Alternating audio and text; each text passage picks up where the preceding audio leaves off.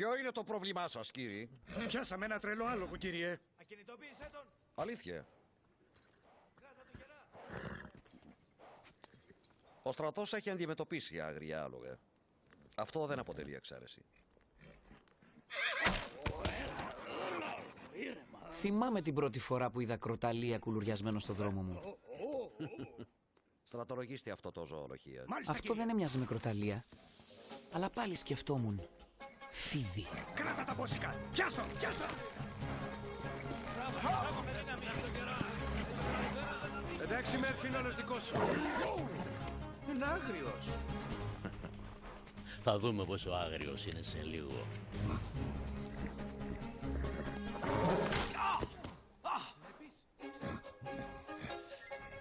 Ζόρικος, ε.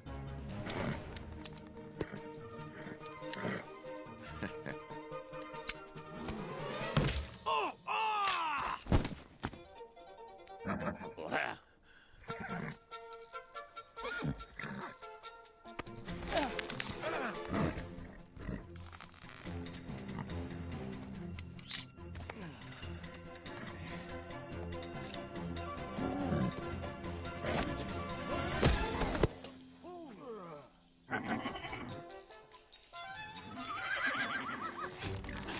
Κράτα το γερά, εντάξει.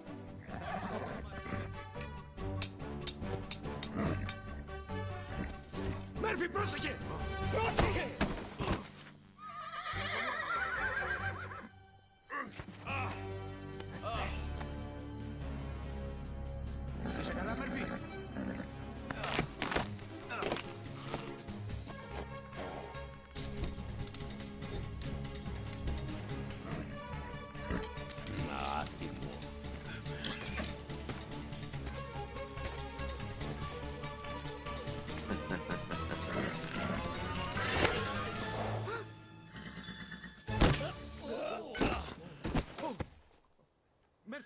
Είσαι εντάξει.